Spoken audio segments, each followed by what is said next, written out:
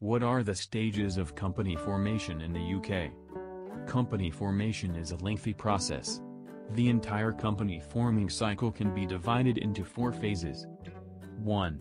Promotion stage. 2. Incorporation or registration stage. 3. Capital subscription stage. 4. Commencement of business stage. Stage 1.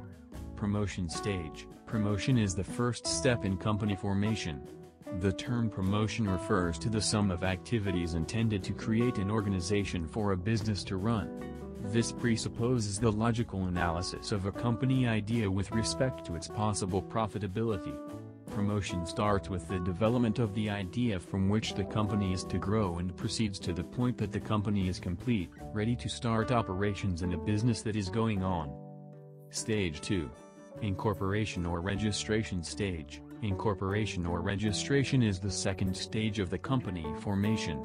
Registration refers to the establishment of a company.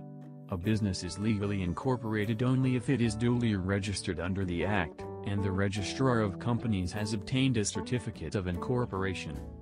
Preliminary activities. Filing of a document with the Registrar. Certificate of incorporation. Stage 3 Capital subscription stage. A private company or a public company that does not have share capital may start business immediately after incorporation. Capital subscription stage and business start stage are only applicable in the case of a public company that has a share capital. Such an organization should go through these two additional stages before it can start operation. Stage 4. Commencement of business stage. A private company will start its business after having obtained a certificate of incorporation. A public company can only start operating its business after obtaining a business startup certificate.